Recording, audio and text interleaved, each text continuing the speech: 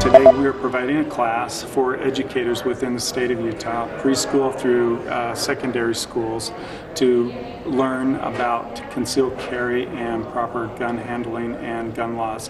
And point again. Yep, raise it up. Go ahead and pull the hammer back. Right. Finger on the exit. Bang. In wake of what has happened within Newtown, Connecticut, we would like to educate our teachers and provide them with the necessary tools and information needed to help protect their students in an event of such of a tragedy in their classroom or within their school.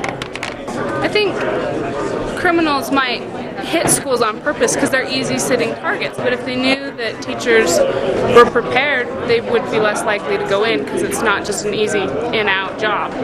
to go. I could go up and over. Okay, what happens if there was a balcony up there and there was nuns and puppies up there? And in Utah, as well as in Kansas, concealed weapon permit holders can actually carry a weapon within their classroom or on school property. Um, and so we're just trying to give them the information to do what they would like to do going forward. Anyway, so this is an actual Glock. Okay. And there is one way to get this thing to fire. I could drop it, it won't fire. I could hammer the back of it, it won't fire. It's important because if we have the legal opportunity to, to uh, change a situation and we're trained, I think we should be able to do it.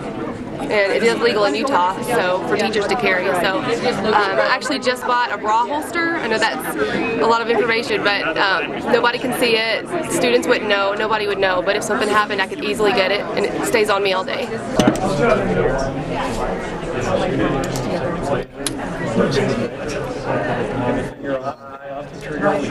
Fire the target by looking down that that white dot.